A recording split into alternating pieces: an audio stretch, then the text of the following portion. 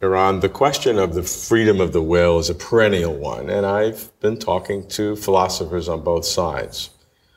Where I'd like to get grounded is with the brain science, the cognitive neuroscience of what people are doing in terms of decision making uh, in, in, in real data. Right. I uh, I sometimes think I'm an empirical philosopher. so I'm interested in the philosophical question, but if I can answer it empirically, I'm going to do experiments. If I cannot, I'm going to do Gedanken experiments. Thinking, thought experiments. Thinking about it.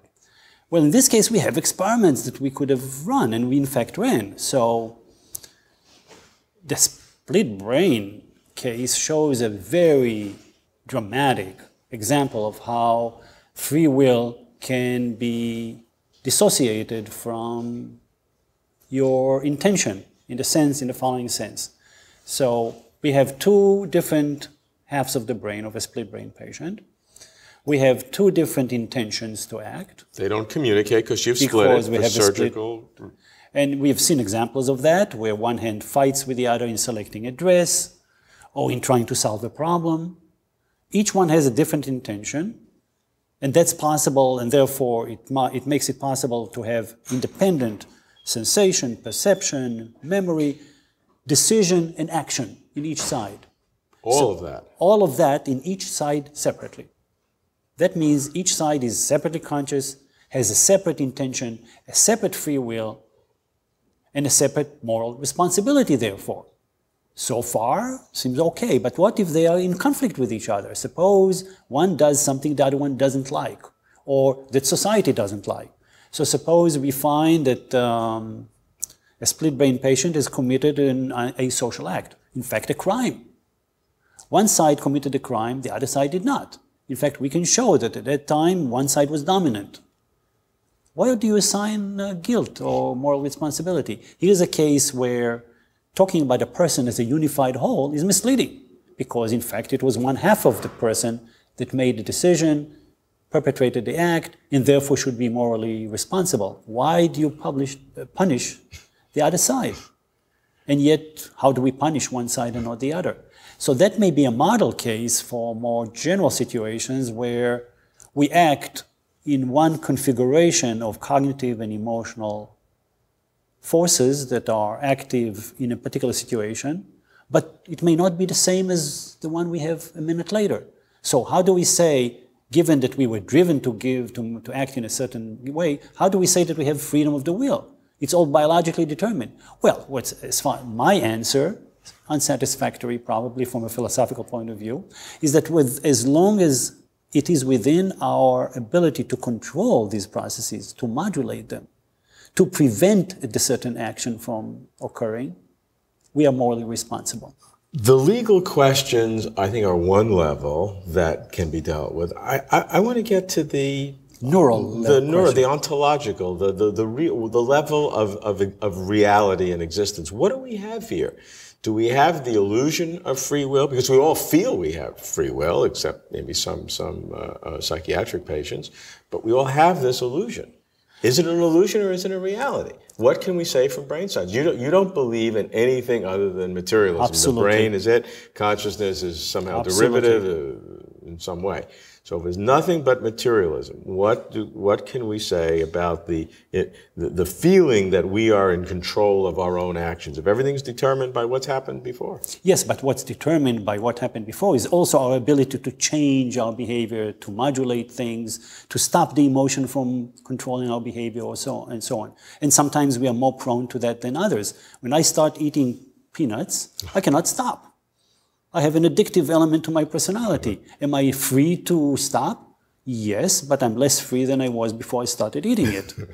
so it is my ability, so certainly my freedom is constrained by my biology and determined by it, but at the same time, that biology allows me, prefrontal cortex influence from the top, to modulate these effects and to strategically not eat the peanuts if I know it's going to do that, or to stop eating it in spite of the strong emotional need because I know of what it will do to me.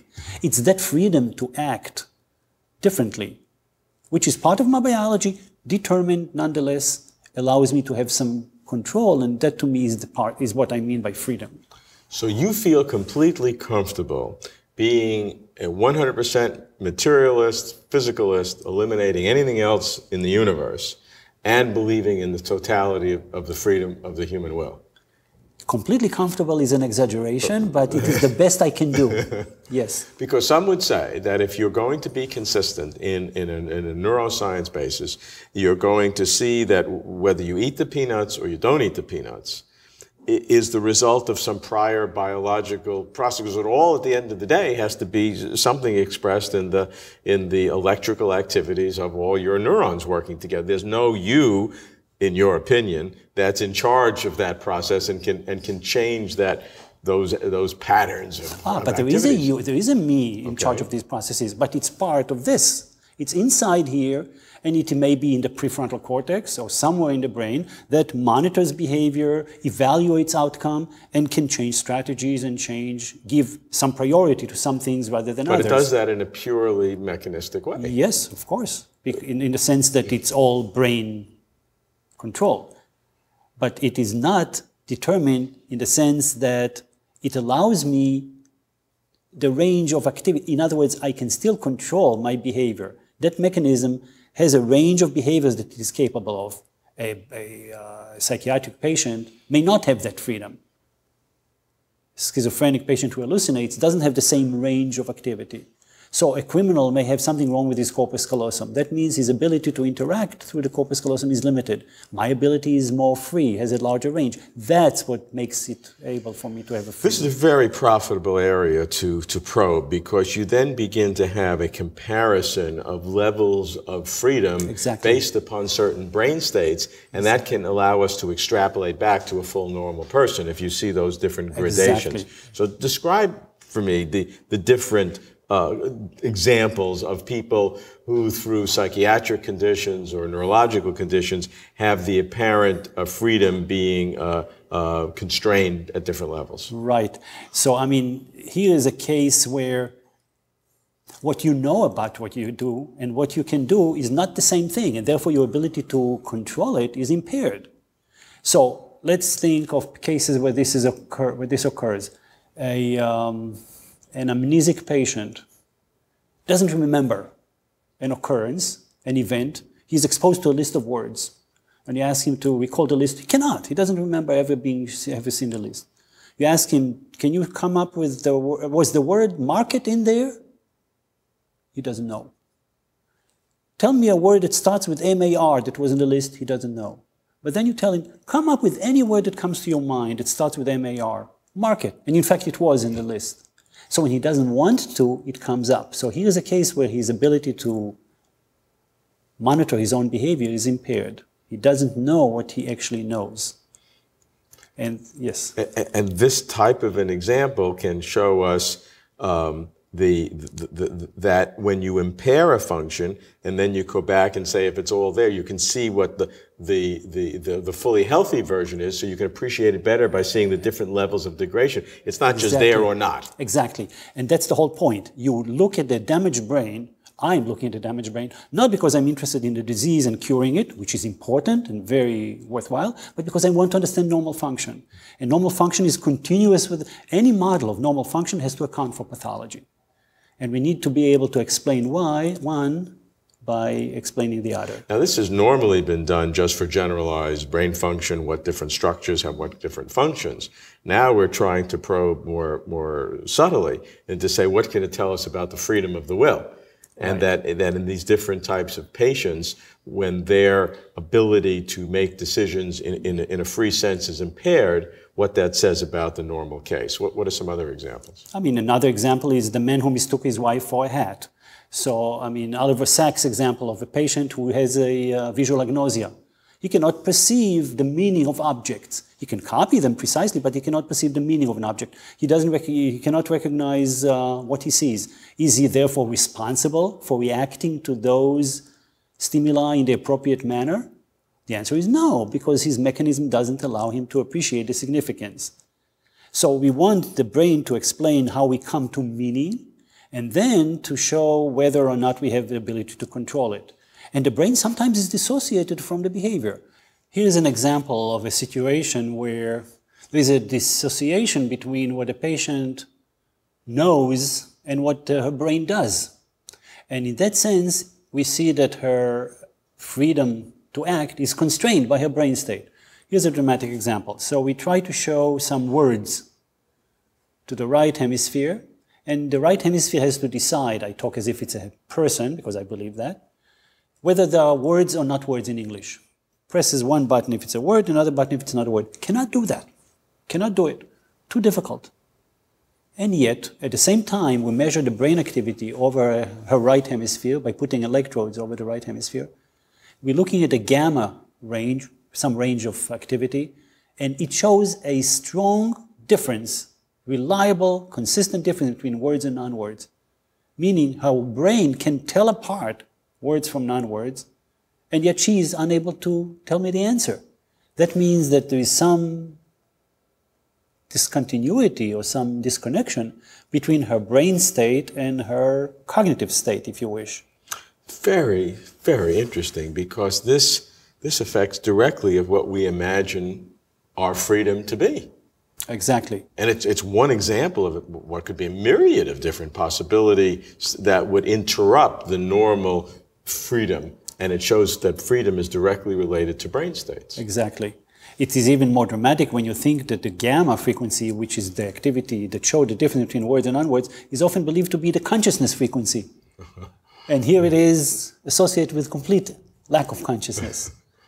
so what the, the point is that there are many different levels of probing the mind, and it can show us that there is some activity in the brain that can process the information, but that is not, does not mean that it's all available, available to us to act on.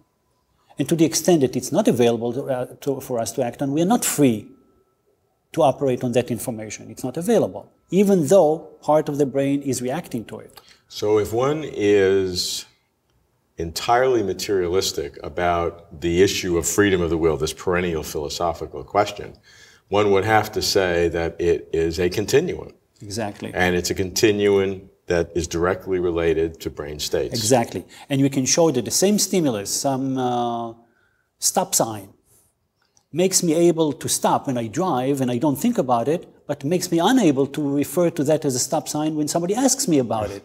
So depending on what behavior I probe, my freedom to act is very different. Which shows the richness, the complexity, but ultimately the pure physicality of the process.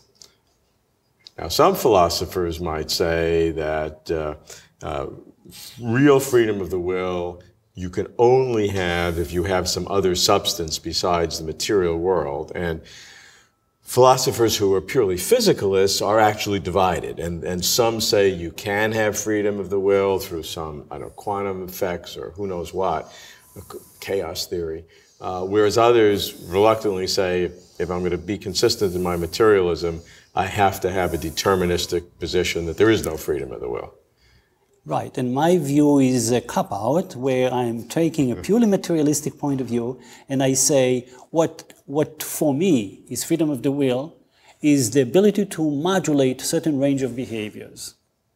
If I can control the phenomena, if I can make myself behave one way or another, I don't care if it was determined ahead of time that I had that ability. That's what I call freedom my ability to modulate the behavior, modulate the condition, modulate my reaction. If I'm addicted, if I have no control, then I'm unable, I don't have the freedom.